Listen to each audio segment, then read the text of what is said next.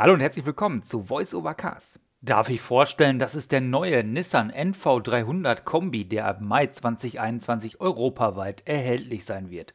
Der bis zu neunsitzige Transporter fährt mit neuen Komfort, Konnektivitäts- und Sicherheitstechnologien vor.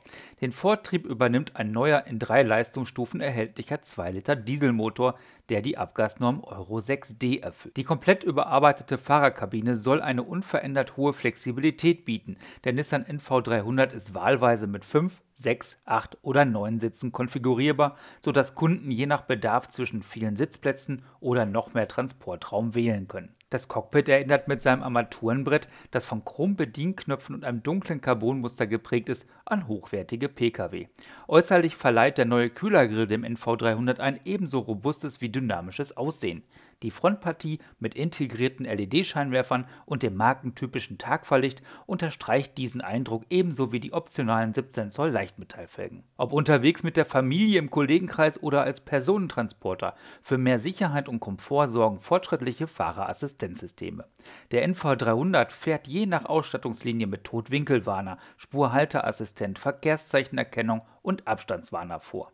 Zwei verbesserte Front-Airbags, die man hoffentlich nie sieht, für die Beifahrerseite sollen das passive Sicherheitsniveau erhöhen. Für Unterhaltung sorgt die ausstattungsabhängige Onboard-Konnektivität. Im Mittelpunkt steht dabei das Nissan Connect-System, das nicht nur Infotainment und Navigation miteinander verbindet, sondern auch das Smartphone via Android Auto oder Apple CarPlay direkt ins Fahrzeug einbindet.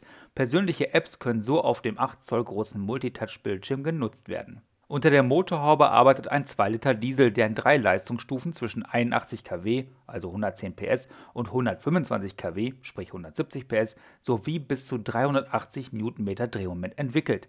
Der Vierzylinder, der über einen Turbolader mit variabler Geometrie verfügt, erfüllt nun die neueste Abgasnorm.